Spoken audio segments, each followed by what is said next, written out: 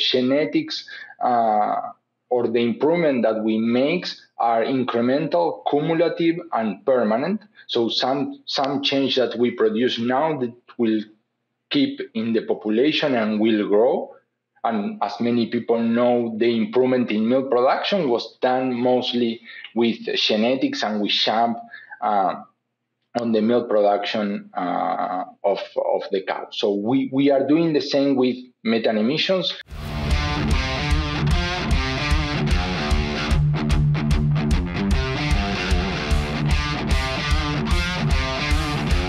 Welcome to the Dairy Health Black Belt podcast by Wisenetix. I'm Luciano Caixeta and I'm your host today. And today I'm joined by Dr. Uh, Mar- Martinez Boggio uh, from UC Davis, who come to talk to us about genetics and feed efficiency, methane emissions. So all those topics, they're super interesting. Welcome to the podcast, Guillermo. Hello, Luciano. Uh, thank you very much for the invitation. I'm happy to be here. Yeah, no, we're we're very excited. You are working on a very important and very uh, active area of the field that we are in the dairy science. But before we get into like your specifics and uh, all the things that you're doing, uh, can you give the listeners a little bit of an introduction about yourself? How to get how did you get to UC uh, Davis? Uh, of course. So uh, I'm originally from Uruguay, a small country in South America, so close. where are you from?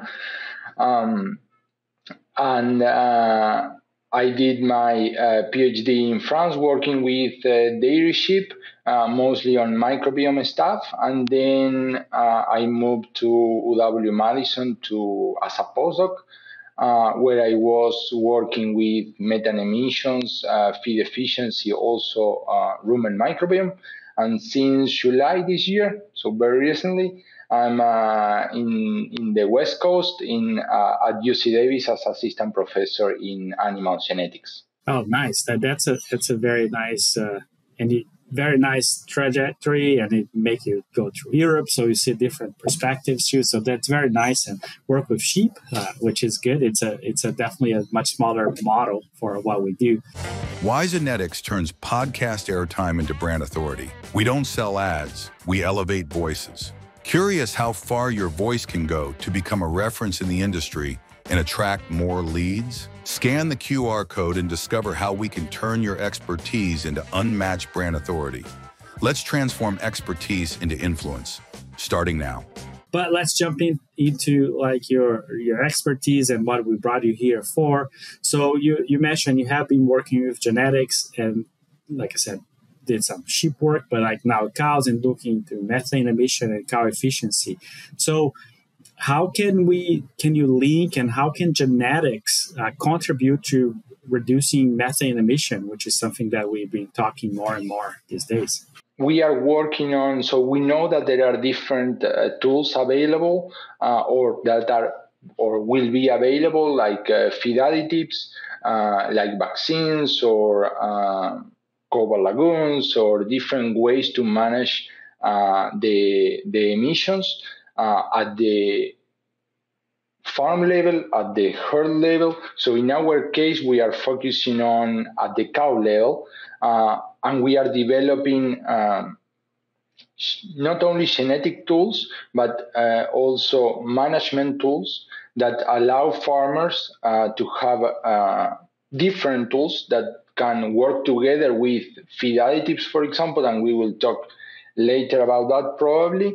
Um, but basically, genetics can contribute, and many people is saying that is one of the, the most promising tools that we have to target uh, methane emissions because, as uh, probably people know, so genetics uh, or the improvement that we make are incremental, cumulative, and permanent. So some some change that we produce now that will keep in the population and will grow.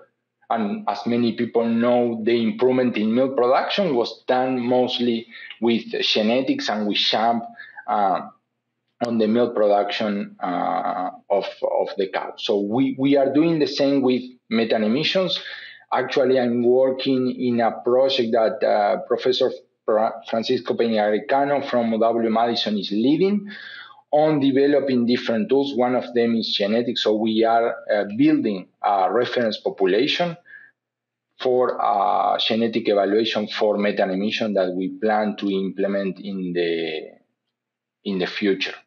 Yeah, that, that's very interesting, and this is like it's a curiosity of mine, and it probably it's a question or something that other listen some other listeners might also know. So when we talk about this uh, genetic tools for improving this or improving this methane emission in this case, decrease this case, right? Uh, what, what do you mean by these genetic tools? What, can you give me some specifics? So basically, is to develop a, a, genomic evaluation. So that means that as uh, many farmers are using the lifetime net merit index. So when when you select for some traits, could be milk production, but could be milk component, or could be fertility or other traits. All those are inside an index, and our uh, plan is to include methane emissions as well as it is uh, feed efficiency on in, in that index. So then people or farmers, when they use this index to choose which bulls or which cows to uh, select and use in their herds, they will be able to select for those animals uh, or those cows that produce less methane right? And that is, is feasible based on a reference population. So we are phenotyping direct uh, methane emissions. So we are using equipment that are called GreenFeed, are pretty uh, famous and many people is using. So we are collecting data. We have almost 3,000 cows with methane emissions.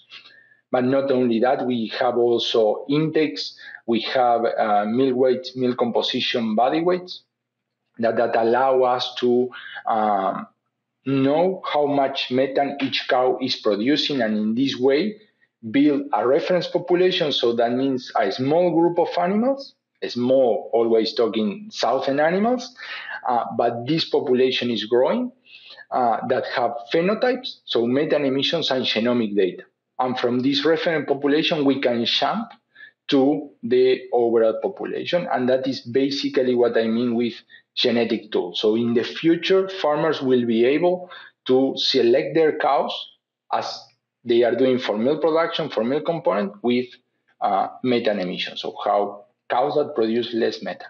Yeah, no, they'll be very nice and super important, right? Like like you mentioned, those green feeds, those machines are super expensive and they're not that easy to maintain. They're not like it's it doesn't make sense for a commercial farm to have it, but if you can extrapolate from this population that you have that's like the more uh, that you're collecting all this data then it, extrapolate that for the general population that would be great and then that will also help and lead the dairy industry in this path on uh, decreasing methane production that, that's super interesting i think that that is one of the major challenges that we have uh, in genetics is those new phenotypes that we are developing uh, they have expensive equipment, they are hard to measure. So, with genomic selection, we can do in a reference population in a small group of animals and then extrapolate to the uh, overall population.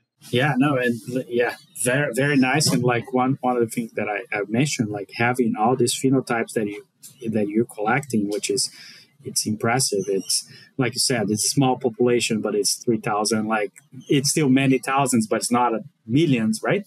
But it's still something that's very, will be very reliable, and I think there'll be make a big impact and a lot of changes in the dairy industry. That's that's very good. One thing that you also mentioned.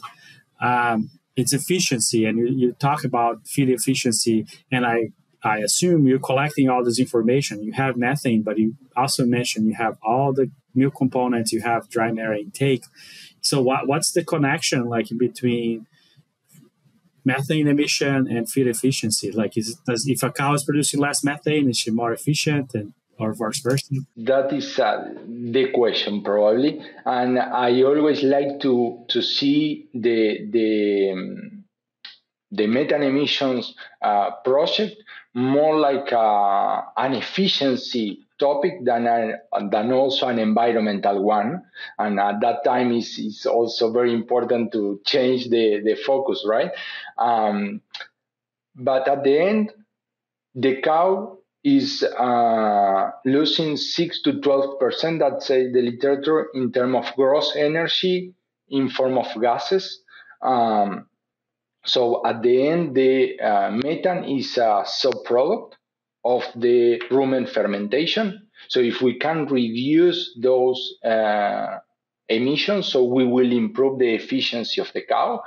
So as you mentioned, we are collecting both. We are collecting um, methane emissions using GreenFeed. We are collecting feed intakes uh, in a daily basis. So what we observe, at least in our preliminary studies, is that cows that produce less methane are more feed efficient. So, and we also evaluate that using the net merit index, as I mentioned before.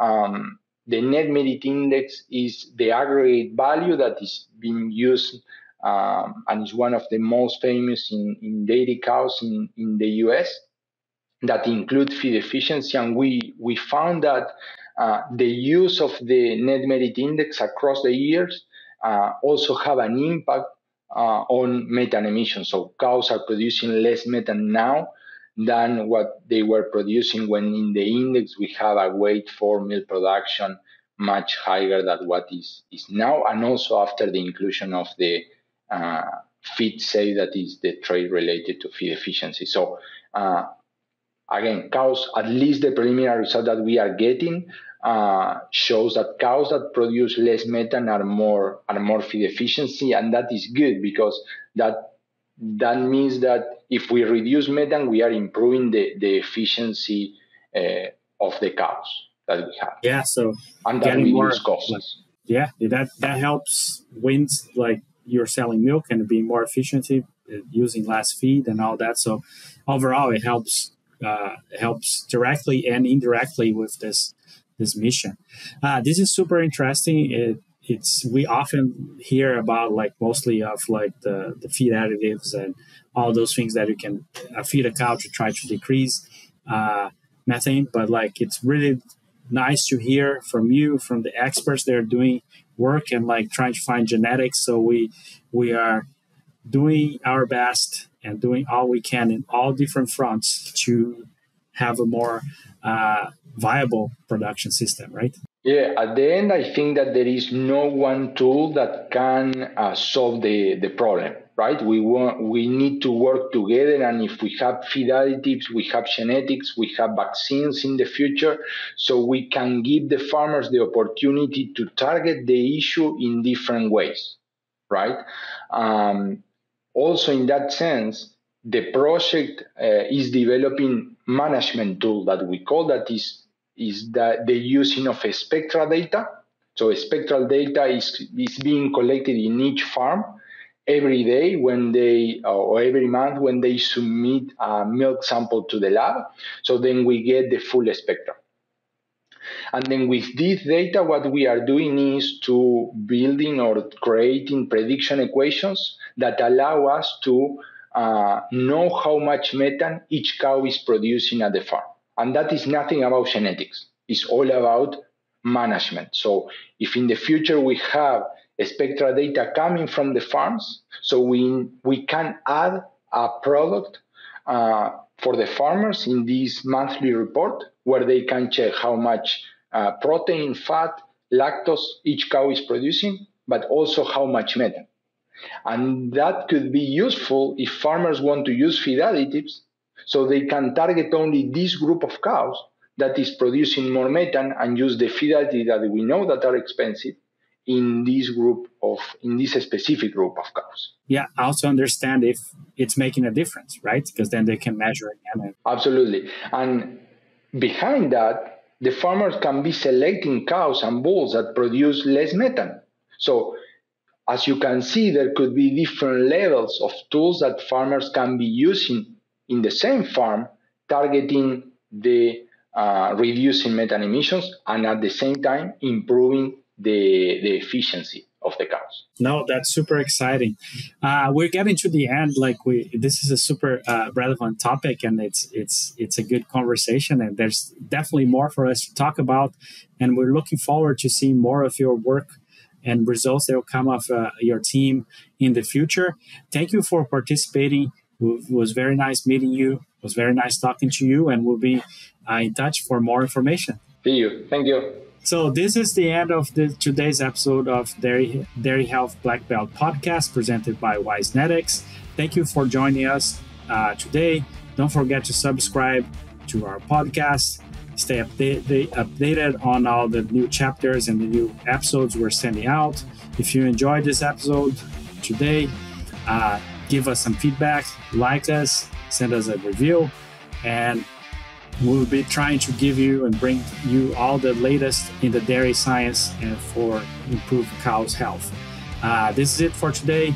This is I'm Luciano Caixeta, and this is the end of the Dairy Health Black Belt podcast. Thank you.